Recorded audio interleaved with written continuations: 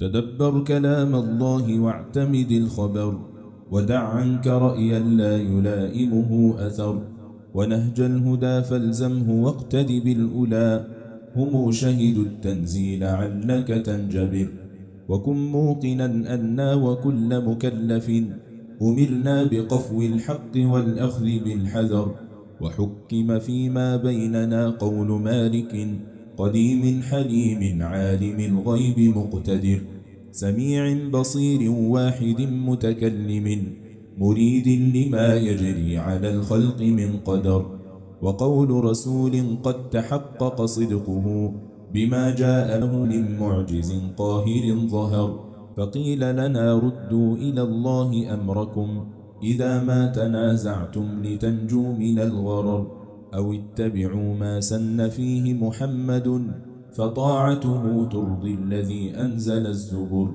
فمن خالف الوحي المبين بعقله فذاك امرؤ قد خاب حقا وقد خسر وفي ترك أمر المصطفى فتنة فذر.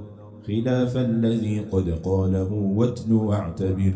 وما اجتمعت فيه الصحابة حجة وتلك سبيل المؤمنين لمن سبر وما لم يكن في عصرهم متعارفا وجاء به من بعدهم رد بل زجر ففي الأخذ بالإجماع فاعلم سعادة كما في شذوذ القول نوع من الخطر ومعترض اترك اعتماد مقاله يفارق قول التابعين ومن غبر وأمثل أهل العلم فينا طريقة وأغزرهم علما مقيم على الأثر وأجهل من تلقى من الناس معجب بخاطره يصغي إلى كل من هذر.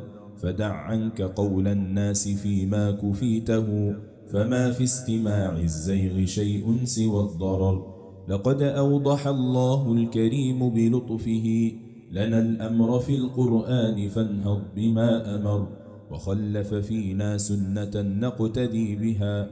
محمد المبعوث عونا إلى البشر ومن على المأمور بالعقل آلة بها يعرف المتلى من القول والعبر. فلا تك بدعيا تزوغ عن الهدى وتحدث فالإحداث يدني إلى سقر. ولا تجلسا عند المجادل ساعة فعنه رسول الله من قبل قد زجر ومن رد أخبار النبي مقدما لخاطره ذاك امرؤ ما له بصر. ولا تسمعا داعي الكلام فإنه عدو لهذا الدين عن حمله حسر. وأصحابه قد أبدعوا وتنطعوا وجازوا حدود الحق بالإفك والأشر. وخذ وصفهم عن صاحب الشرع إنه شديد عليهم للذي منهم خبر. وقد عدهم سبعين صنفا نبينا وصنفين كل محدث زائغ ذعر. فذو الرفض منسوب إلى الشرك عادل عن الحق ذو بهت على الله والنذر.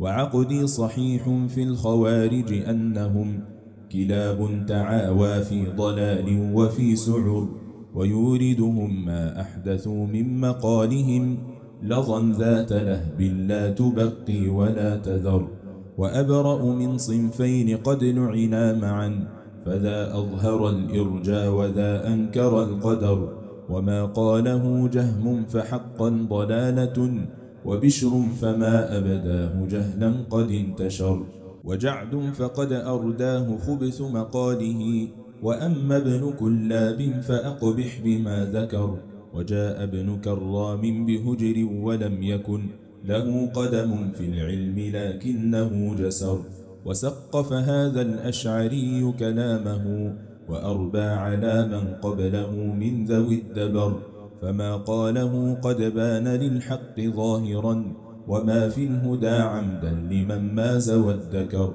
يكفر هذا ذاك فيما يقوله ويذكر ذا عنه الذي عنده ذكر. وبالعقل فيما يزعمون تباينوا وكلهم قد فارق العقل لو شعر. فدع عنك ما قد أبدعوا وتنطعوا ولازم طريق الحق والنص واصطبر. وخذ مقتضى الآثار والوحي في الذي تنازع فيه الناس من هذه الفقر. فما لذوي التحصيل عذر بترك ما أتاه به جبريل في منزل السور. وبين فحواه النبي بشرحه وأدى إلى الأصحاب ما عنه قد سطر. فبالله توفيقي وآمل عفوه وأسأله حفظا يقيني من الغير. لأسعد بالفوز المبين مسابقا إلى جنة الفردوس في صالح الزمر.